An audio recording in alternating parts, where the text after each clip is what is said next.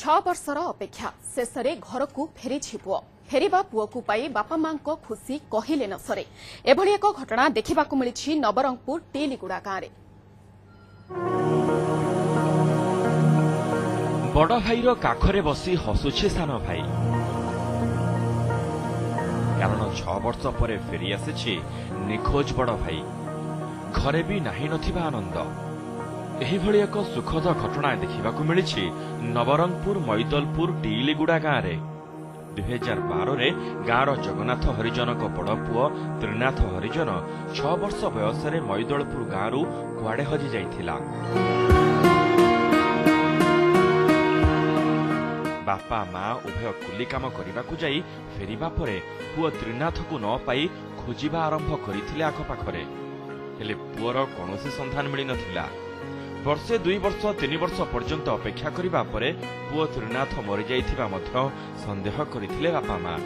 ଆଉ ଏବେ ପୁଅକୁ ଜୀବିତ ଦେଖି ବାପା ମାଙ୍କ ଆଖିରେ ଆନନ୍ଦର ଅଶ୍ରୁ। ମୋର ପୁଅ ସାତ ବର୍ଷ ପରେ ପାଇଲେ।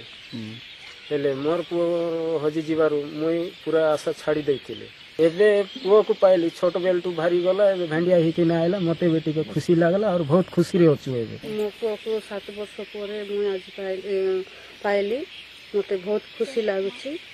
ହଜି ଯାଇଥିଲା ମୁଁ ତାର ପାଇଁ ଜ୍ୱର ମୁଣ୍ଡ ବେଶୀ ପଡ଼ିଲି ହସ୍ପିଟାଲରେ ପଡ଼ିଲି।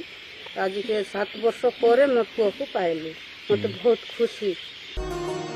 ତ୍ରିନାଥ ବସ୍ରେ ବସି ନବରଙ୍ଗପୁର ଚାଲି ଯାଇଥିଲା ନବରଙ୍ଗପୁର ବସ୍ଷ୍ଟାଣ୍ଡରେ ସେ କାନ୍ଦୁଥିବା ଦେଖି ଜଣେ ଲୋକ ନିଜ ଘରକୁ ଡାକି ନେଇ କିଛିଦିନ ରଖିବା ପରେ ପୁଲିସକୁ ହସ୍ତାନ୍ତରିତ କରିଥିଲେ।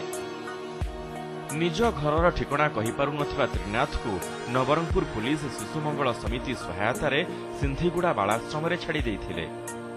ସେଠାରେ ତ୍ରିନାଥ ରହି ପାଠ ପଢୁଥିଲା।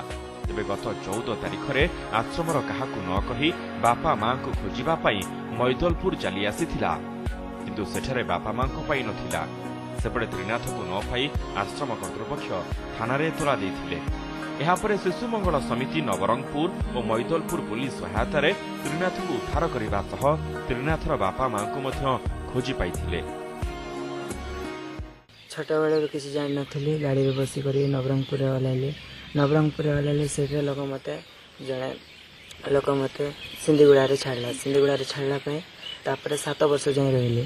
ତାପରେ କ୍ଷେତ୍ର ନାନା ଘରେ ନବର ମୈଦଲପୁରରେ ଆସିଲି ମା ବାପାକୁ ଖୋଜିବା ପାଇଁ ଖୋଜି ପାରିଲି ନାହିଁ ତାପରେ ସାତ ବର୍ଷ ପରେ ମା ବାପାକୁ ପାଇଲା ପାଇଁ ମୋତେ ବହୁତ ଖୁସି ଲାଗୁଛି ଅନୁସନ୍ଧାନ କରି ଠାବ କରିବା ସଙ୍ଗେ ସଙ୍ଗେ ତାକୁ ପଚାରି ବୁଝିଲେ ଯେ ତାର ପିତାମାତା ଅଛନ୍ତି ତେଣୁ ତାର ପିତାମାତା ଏବଂ ତାଙ୍କୁ ଆମେ ମିଶେଇଲୁ ସେମାନେ ଭାବ ବିହଳ ମଧ୍ୟରେ ଉଭୟ ସନ୍ତାନ ଏବଂ ପିତାମାତା ମିଶିଲେ ଏବଂ ପରବର୍ତ୍ତୀ କାଳରେ ଆମର ଶିଶୁ ମଙ୍ଗଳ ସମିତି ତାକୁ ତାଙ୍କର ପିତାମାତାଙ୍କୁ ସମର୍ପଣ କଲା ଏବଂ ମାସିକ ଦୁଇ ହଜାର ଟଙ୍କା ଦେବାର ବ୍ୟବସ୍ଥା କରିବା ପାଇଁ ଆଦେଶ ପ୍ରଦାନ କଲା।